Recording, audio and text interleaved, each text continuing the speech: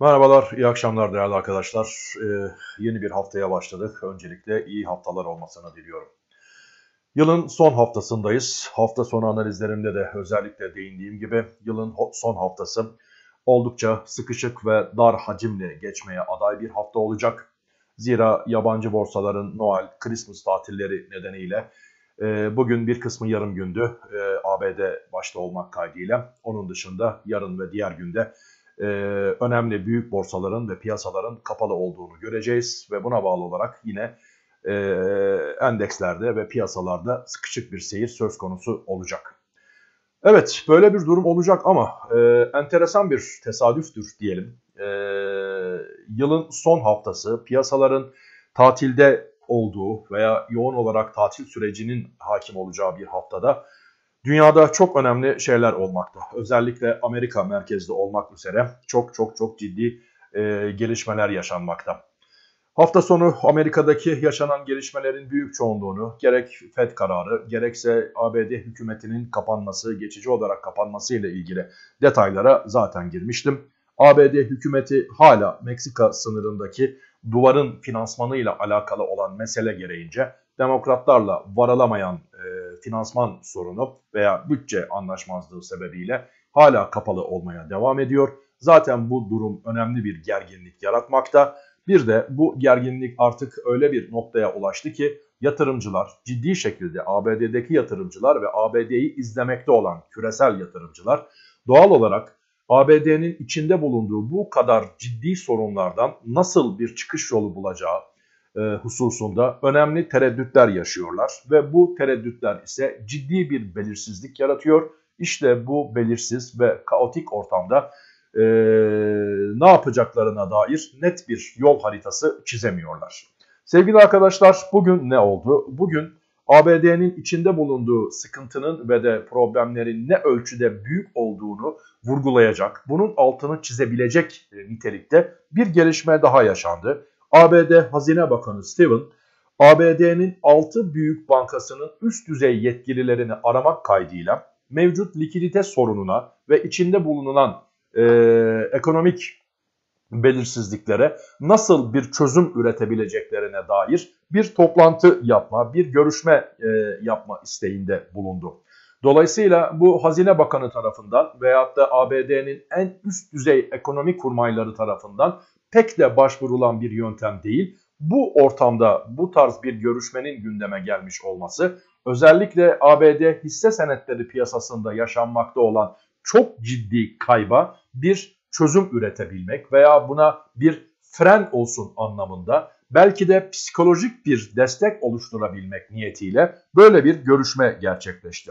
Ve yanı sıra Hazine Bakanı şöyle bir açıklamada bulundu. Son birkaç gündür özellikle FED kararı sonrasından Trump'ın FED'e yönelik olarak ABD'nin en önemli sorunu, en önemli ekonomik sorunu FED'dir. Ve hatta hatta Çin ile aramızdaki ticari savaşlardan bile öte en önemli tehlike FED'dir şeklindeki açıklamalarıyla iyice gerginleşen Trump FED veya Trump FED Başkanı Powell arasındaki e, gerginlik artık e, Trump tarafından Powell'ın görevden alınacağı noktasına geldi. Bu konuda söylemler ve de spekülasyonlar oluşmaya başladı. Ancak Hazine Bakanı bugün yapmış olduğu 6 banka üst düzey yöneticileriyle görüşmesi sonrasında Powell'ın görevden alınmayacağını ve ABD Başkanı'nın böyle bir yetkisinin de olmadığına dair bir takım ifadelerde bulunmak kaydıyla piyasaları rahatlatmaya çalıştı. Bu açıklamalar e, sonrasında maalesef çok küçük miktarda da olsa ABD future'larında bir olumluluk gözlendi. Ama e, genel anlamda yatırımcıların altın ve de e, tahvile yönelik olarak ilgilerinin daha fazla olduğunu, hisse senetlerine ilgi göstermediklerine tanık olduk. Ve arkadaşlar sonuç itibariyle de bugün ABD piyasaları yine çok vahim bir kapanış gerçekleştirdi. Şurada göreceğiniz gibi Dow Jones'a bakıyorum. Evet %2.91'lik bir kayıpla 21.800 seviyelerinden bir kapanış yaşıyor. E, haftayı 22.500'ler civarında tamamlamıştı. Yine 700 puan civarında bir kayıp ki bu ABD endekslerinin artık net bir şekilde ayı piyasasına girdiğini yansıtan bir tablodur. Zaten Japonya e, bugünkü son kapanışıyla ayı piyasasına girdiğini teyit etmiş oldu. Dolayısıyla arkadaşlar gelişmiş ülke endekslerinde çok büyük kayıplar var ama diğer yandan gelişmekte olan ülkelerde çok da büyük kayıplar görmüyoruz. Zira biz de bunlardan birisiyiz. Türkiye olarak bunlardan birisiyiz. Ve Türkiye'nin de Türkiye'nin de bugün çok ufak bir kayıpla kapanış yaptığına tanık olduk. Nitekim e, şurada görmekte olduğunuz gibi uzak doğu endekslerinde de çok büyük bir sıkıntı mevcut değil. Japonya'yı söylemiştim arkadaşlar %1.11'lik bir değer kaybıyla 20 bin sınırında kapanış yaşadı. Ama e, Çin'in işte gördüğünüz gibi çok ufak bir eksiyle kapanış yaptığına tanık oluyoruz. Yine Şangay Endeksi e, artı kapanışta bulunmuş. Dolayısıyla uzak doğuda veya gelişmekte olan piyasalarda çok büyük bir sıkıntı yok.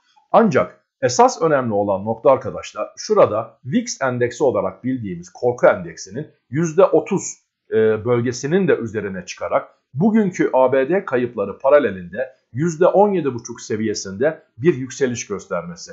Daha önceki e, analizlerimde de sıklıkla belirttiğim gibi bu VIX korku endeksi veya volatilite endeksi denilen endeks e, küresel piyasalardaki özellikle büyük endekslerdeki dalga boyu arttıkça, dalgalanma arttıkça artan bir e, endekstir ve 20 seviyesinin üzerine çıkması tehlike olarak adlandırılmakta veya bu şekilde yorumlanmakta. Şu anda 20 seviyesinin çok çok çok üzerinde bir görünüm arz etmekle e, özellikle Amerika'daki dalgalanmaların ne kadar e, sert boyutlarda olduğunu bizlere yansıtıyor. Değerli arkadaşlar bugün bir başka konu ise e, öncelikle şunu belirteyim. ABD'deki bu gelişmeleri sizlere aktardıktan sonra dolar TL üzerindeki e, bu gelişmelerin nasıl bir etki yaratabileceğine ve aynı zamanda borsamız üzerinde nasıl bir sonuç yaratabileceğine de değineceğim. E, bugün ABD'den ABD kaynaklı olarak yaşadığımız gelişmelerden bir tanesi de kendi özelimizde yaşadığımız bir gelişme vardı arkadaşlar. Trump e, Erdoğan ile bir Sayın Erdoğan ile bir görüşme e, yapılmıştı biliyorsunuz. Bu görüşmenin ardından bazı açıklamalarda bulundu. Suriye'den çekilmeleri konusuyla alakalı olarak Suriye'den çekiliyoruz ve orayı Türklere emanet ediyoruz, size emanet ediyoruz şeklinde bir ifade kullandı. Ve bunun yanı sıra Türkiye ile ticari ilişkilerinin artık daha da iyi olacağına dair beklentilerini dile getirdi. Bu tarzda bir beyanatta bulundu.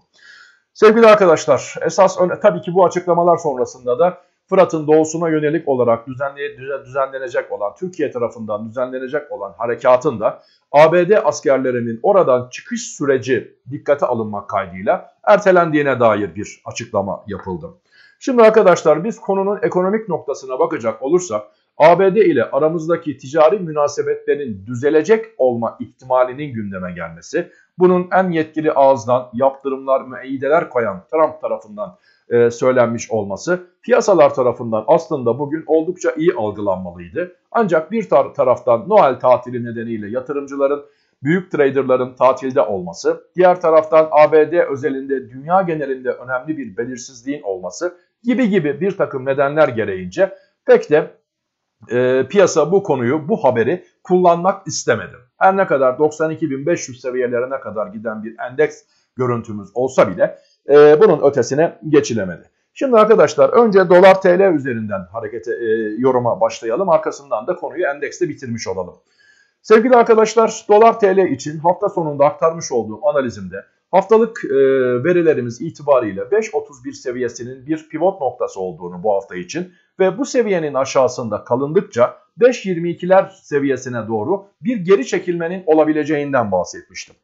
Evet bugün 5.32 seviyesine yönelik bir hareketlilik olsa da şu anda biz dolar TL'yi 5.29 civarında görmekteyiz.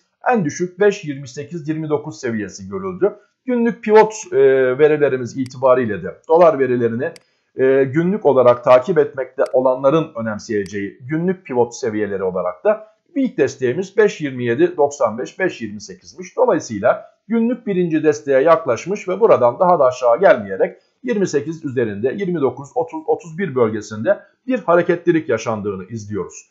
Şimdi arkadaşlar e, burada önemli olan konu şuydu. Haftalık bazda 5.22'ye kadar bir geri çekilme olasılığı eğer 5.31'in aşağısındaki seyir devam eder ise mümkün olabilir demiştik. Ve bunu bir başka koşula daha bağlamıştık. Demiştik ki euro dolar paritesi eğer 1.14'ün üzerinde hareket eder, 1.15'e doğru bir hareketlilik yaşarsa bu doların değer kaybı dünya piyasalarında doların değer kaybı anlamına gelecek. Yani euro karşısında doların değer kaybı anlamına gelecekti. 1.15'e yaklaşımlar mümkün olabilirdi ve bu tarz bir yaklaşım söz konusu olduğu zaman dolar TL'de kısmi bir geri çekilmenin olasılığı mümkün olabilecekti. Tabii ki e, burada dolar endeksinin de e, son dönemlerde özellikle e, USD yani e, do, dolar TL ile uyumlu bir korelasyon içerisinde olduğundan da son dönemler itibariyle bahsetmiştik.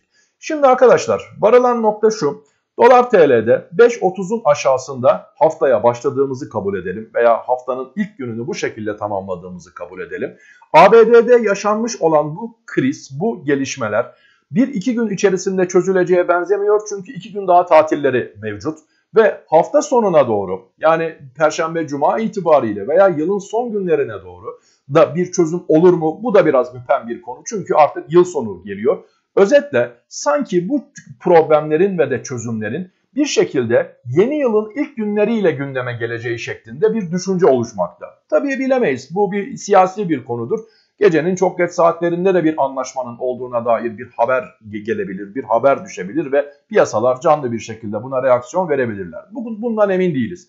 Ancak görünen tablo şu ki takvim oldukça sıkışık, yıl sonunun son günlerini yaşıyor olmamız sebebiyle bu sebepten ötürü de çok net bir şekilde acil bir çözüm olabileceğini beklemek pek doğru olmayabilir. İçinde bulunduğumuz bu tablo, bu sıkışık seyir, yabancıların tatilde olması, yıl sonu ve e, bir şekilde bu sorunların illaki şu veyahut da bu şekilde çözülmek mecburiyetinin var olması, böyle bir e, zaruretin kesinlikle olmak zorunda olması gibi nedenler ötürü e, şu an piyasalar net bir şekilde karar veremediği için çok net bir yukarı eğilim ve veya çok net bir aşağı eğilimin olmasını beklemek doğru olmaz kanaatindeyim. Çünkü piyasalar şu anda neyin ne olacağını çok net bir şekilde bilmiyor. Önemli bir belirsizlik hakim ve büyük oyuncuların da bir şekilde tatil sebebiyle veya bu belirsizliğin bir şekilde nasıl çözüleceğini izlemek babından geri planda izleyici konumunda olmaları nedeniyle piyasalar önemli bir yön tayin etmeyecektir. Olası iniş ve çıkışlar da ufak tefek yukarı hareketlerde veya çıkışlarda bunları bir trend değişimi veya artık yükseliş başladı veya artık net bir şekilde düşüyor, düşecektir şeklinde o hangi enstrüman olursa olsun şu an içinde bulunduğumuz sıkışık ve belirsiz birkaç gün sebebiyle bu tarz yorumlama doğru olmayacaktır görüşündeyim. Arkadaşlar e, dolar TL konusunda önemli olan bir mevzuyu hafta sonu sizlere izah ettiğim gibi şu dünya genelindeki sıkışık tablonun bulunduğu günlerde yani dünyadaki büyük oyuncuların pek de dolar TL ile uğraşmayacakları diyelim, ilgilenmeyecekleri diyelim bir ortamda Merkez Bankası bu haftayı kendi lehine çok farklı bir şekilde değerlendirebilir. Buna hafta sonu değinmiştim. Tekrar üzerinde vurgu yapmak istiyorum. Bu içinde bulunulan doların zayıf olduğu, güç kaybetmiş olduğu bir haftada Merkez Bankası elinde 670 bin kontrat short pozisyon bulunduruyor ve bu pozisyonların vade sonu pazartesi yani bir sonraki pazartesi 31 Aralık tarihi. Bu tarihte bu pozisyonlar vade sonu olması münasebetiyle VOP sistematiği, VIOP sistematiği gereğince son uzlaşma fiyatından yani gün sonundaki e, fiyattan kapanacaktır, nakde geçecektir. Bu konuyla ilgili ayrıntılı açıklama yapmıştım. Bu pozisyonların fiili olarak e, kapatılması vesaire vesaire konularına değinmiştim. Merkez Bankası Kasım ayında olduğu gibi elindeki kontratları Diop sisteminde fiili olarak değil de e, karşıt işlem yaparak e, fiili olaraktan kastım budur. Karşıt işlem yaparak pozisyon kapatmayı değil, vade sonu itibariyle oluşacak olan uzlaşma fiyatına göre e, kapatmayı tercih edecektir. Zira elinde çok yüklü miktarda bir short kontrat bulunuyor. Bu short kontratlar 670 bin adet ve bu miktardaki bir kontratın vade sonunda nakde geçmesi e, şeklinde bir strateji izleyecekse ki görünüm bunu net bir şekilde ifade etmekte. Dolar TL'nin mümkün olduğu kadar düşük seviyelerde olmasını tercih edecektir. Çünkü bu pozisyonlar ne kadar düşük seviyeden kapanmış olursa Merkez Bankası bu oranda kar etmiş olacaktır. Ve buradaki karlılıklarda küçük rakamlar olmadığından dolayı birkaç dolarlık fark dahi önemli karlılıklara sebebiyet verebildiği için Merkez Bankası'nın bu yolu tercih edeceğini düşünüyorum. Ve Kasım ayı kontratlarına baktığımız zaman Kasım ayının son gününde dolar TL'nin 5.13'ler seviyesine kadar çok hızlı bir şekilde ve çok kısa süreliğine gevşetildiğini ve bu seviyelerden de Merkez Bankası'nın Kasım ayında elinde bulundurmuş olduğu 225 bin kontratı kapattığını hatırlatmak istiyorum. Şimdi arkadaşlar bu bir senaryodur tabii ki. Merkez Bankası illaki bu stratejiyi uygulayacaktır diye bir kural olamaz. Merkez Bankası'nın zaten elindeki Aralık ayı e, kontratlarının ortalama maliyeti 6.25'tir. Dolayısıyla 5.30'dan da kapanış gerçekleşse 5.35'ten de 5.40'dan da gerçekleşmiş olsa Merkez Bankası e, bu konuda önemli bir kazanç elde etmiş olacaktır. Zaten bu short pozisyonlarını açmaktaki ana amacı da para kazanmak değildir. Bir şekilde doları frenlemektir. Zira doların yıl sonu hangi seviyede olabileceği konusu Merkez Bankası'nın kar elde etme, e, short pozisyonlarını karlı bir şekilde kapatma meselesinin dışında bir de şirketlerin veya bankaların bilançolarını e, şekillendirebilmeleri bakımından da önem taşıyacaktır. Bir grup şirket e, doların olası mümkün olduğu kadar düşük bir seviyeden kapanış yapmasını arzu edecektir. Yıl sonu itibariyle e, borçlarını ve bilançodaki kar zarar e, muhasebesini bu yönde şekillendirmeyi düşünecektir. Ama bir diğer grup şirket ise e, çok ciddi miktarda bir dolar alacağı var ise elbette ki yüksek bir kurdan bunu bilançosuna yansıtmayı arzulayacaktır. Ama Merkez Bankası'nın yıl sonu itibariyle en son yapmış olduğu beklenti anketindeki yıl sonu hedefi 5.44 idi. 5.44 seviyelerine kadar bir yükseliş olur mu olmaz mı bilemiyorum. Ancak e, şu an görünen tablo önümüzdeki bir haftalık süre içerisinde ve ABD'deki problemlerin ve sorunların yarattığı genel anlamda dünya genelindeki değer kaybetmekte olan bir dolar tablosu ve Merkez Bankası'nın elindeki kontratları uygun bir noktadan kapatma arzusu hepsini bir araya getirdiğimiz zaman yılın son günlerine doğru dolar TL'de bir miktar geri çekilme yaşanabilir. Ancak bu bir miktardan kastım lütfen ve lütfen doğru anlaşılsın. Ben hiçbir zaman için 5 seviyesinin aşağısını zikretmedim. Her zaman söylüyorum benim için dolarda minimum seviye 5.06'dır. Tahminim, şahsi tahminim bu yöndedir. Bu belirtmiş olduğum konulara bağlı olarak ben dolar TL'nin 5.20 aşağısına dahi gelmeyeceğini ve bu hafta maksimum 5.22'lere kadar bir geri çekilme olasılığının mevcut olduğunu söylüyorum. Tekrar altını çiziyorum. 5.22'ye kadar bir geri çekilme olasılığı bu hafta için mevcut olabilir.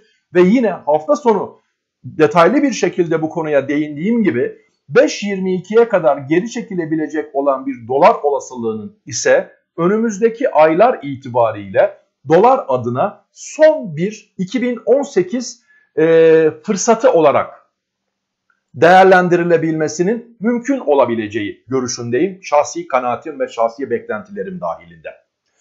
Evet değerli arkadaşlar, dolar TL ile ilgili olarak şu an söyleyebileceklerim bunlardan ibaret. Hafta sonu aktardığım analizde zaten çok farklı ayrıntılara girmiştim. Şu anki tablo e, bu hafta için bahsetmiş olduğum faktörler gereğince bu noktalara kadar bir geri çekilme olasılığını ihtimal dahilinde göstermekte. Ancak şunu da özellikle belirtmek istiyorum ki USD TRY kuru olarak takip ettiğimiz bu grafiğimizde bu noktalara kadar bir geri çekilme olabilir ama sizler fiilen bu seviyelerden alamaz ve satamazsınız. Niçin? Biliyorsunuz banka ve döviz bürolarındaki şekillenen fiyatlar biraz daha fark, farklıdır ve e, düşük seviyelere düşük seviyelere belli bir amaçla dolar TL gevşetilmek veya çıkarılmak istendiği zamanlarda ise bu seviyeleri çok ama çok kısa süreliğine anlık bir şekilde görebildiği için o anı yakalamak da mümkün değildir. Bu nedenle arzunuz almak veya satmak yönünde ise kademeli bir şekilde işlem yapmanızda bu çizdiğim çerçeveyi belli bir sınırlama oluşturmak kaydıyla x x fiyat aralığından alacağım veya satacağım şeklinde bir hareket planı içerisinde olmanızda yarar olduğu kanaatindeyim.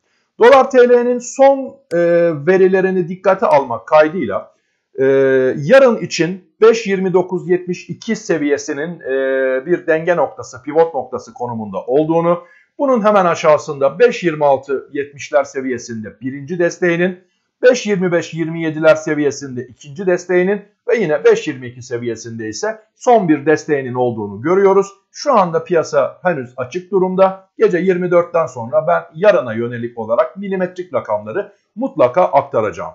Dolar ile ilgili olarak üzerinde durulması gereken bir başka noktada arkadaşlar Brent petrol biliyorsunuz 80 dolar seviyelerinden hızlı bir şekilde 60 dolarlara indi ve bugün de %3 gibi bir değer kaybı yaşamak kaydıyla %50 pardon 51 dolar e, seviyelerine gelmiş durumda. OPEC ülkeleri her ne kadar üretimde kısıtmaya gideriz, bir şekilde arzı azaltırız gibi açıklamalar yapsa da Brent petroldeki geri çekilme hızlı bir şekilde devam ediyor ve bu geri çekilme aynı zamanda doların da dünya piyasalarında değer kaybı yaşamasına etken olmakta. Bir diğer husus ise arkadaşlar euro dolar e, paritesinin de e, yakından izlenmesi gerektiğini düşünüyorum. 1.14 üzerinde kalıcı olmaya çalışıyor ama bunu şu an için başarabilmiş durumda değil. Doların genel anlamda değer kaybı euro dolar paritesinin de 1.14 üzerine yerleşerek 1.15'lere yönelmesi anlamına gelebilecektir. Şimdi arkadaşlar bu detaylar sonrasında endeks 91.526 seviyesinden kapanış yaşadı.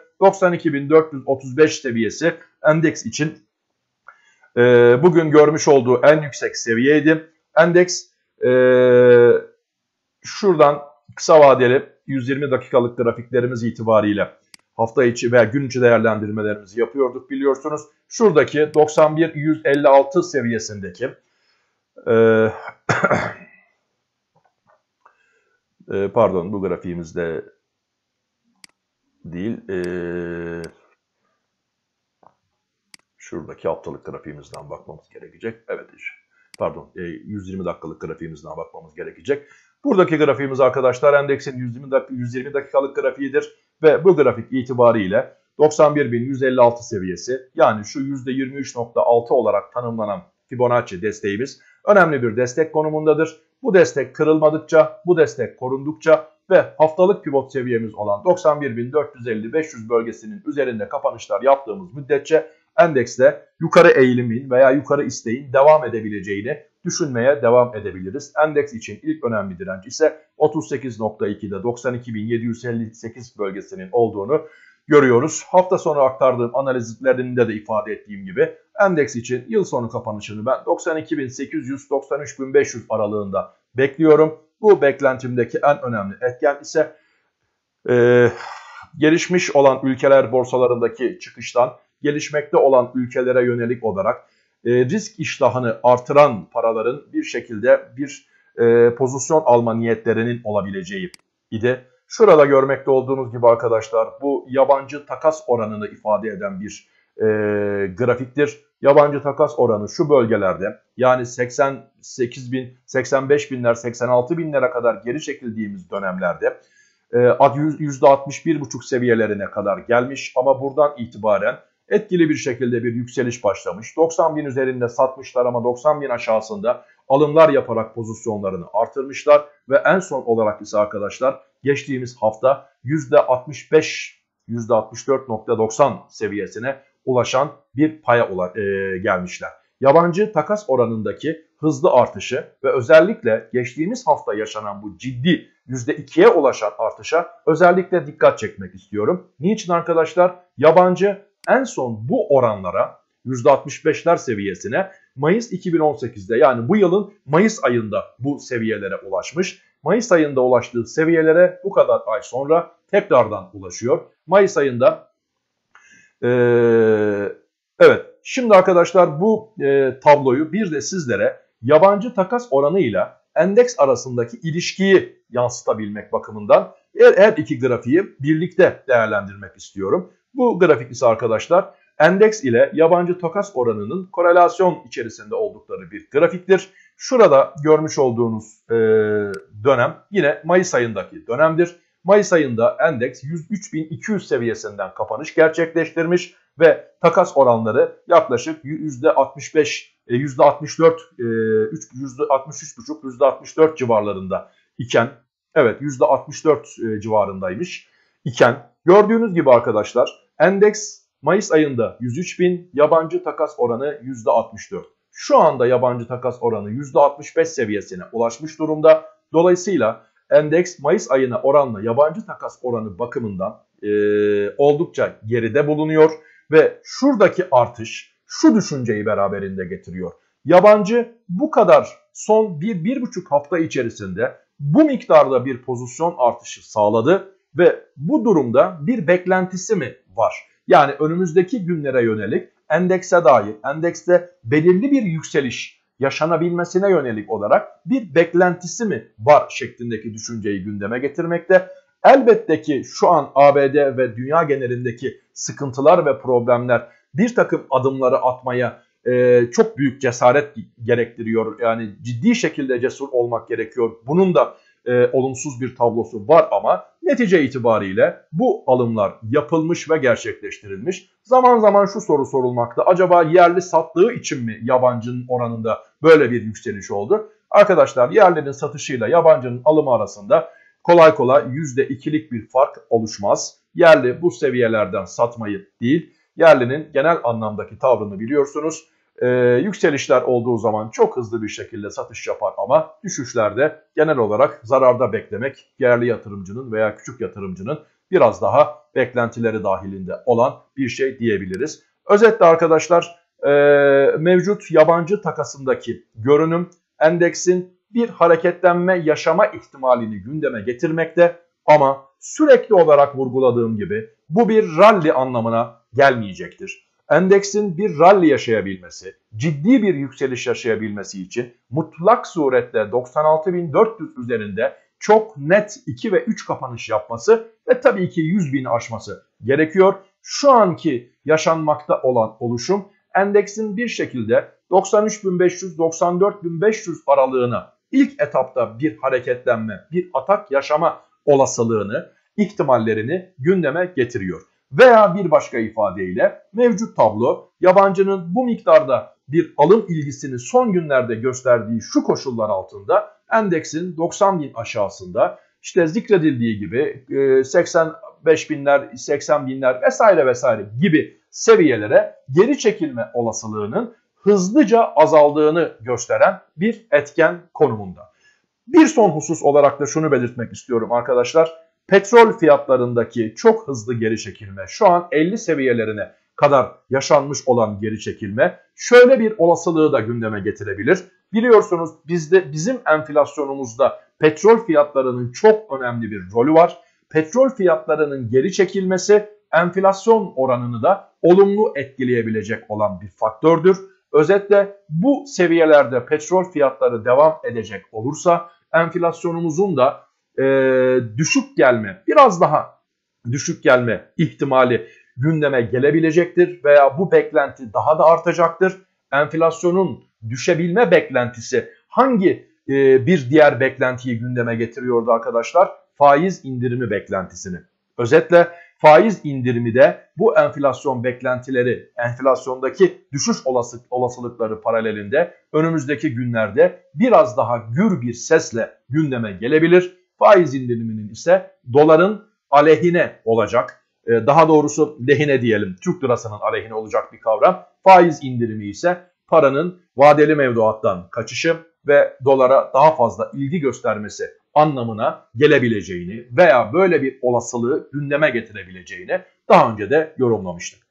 Evet değerli arkadaşlar e, piyasalar ve dolar TL hususunda ve doların genel tablosu hususunda ve ABD'nin şu an içinde bulunduğu son durum, Hazine Bakanı'nın devreye girmiş olması ve Trump'ın Türkiye açısından atmış olduğu bazı tweetler vesaire e, bunlar paralelinde içinde bulunduğumuz koşulları e, hızlı bir şekilde değerlendirmeye çalıştık. Ee, iyi akşamlar diliyorum. Umuyorum ki yarın daha iyi, daha güzel bir gün yaşanabilsin. Değerli arkadaşlar, e, bu tarz anlık veyahut da önemli gelişmeler olduğu anda e, videolar paylaşmaktayım. Aktarmış olduğum, eklemiş olduğum videolardan anında haberdar olabilmek için lütfen kanalıma ücretsiz abone olmayı unutmayınız. Sonsuz teşekkür ve saygılarımla. Bu arada e, seans içi anlık yorum ve analizleri ise Twitter adresim Haluk Canberk'ten e, takip etme imkanınız bulunmaktadır. İyi geceler, hoşçakalınız.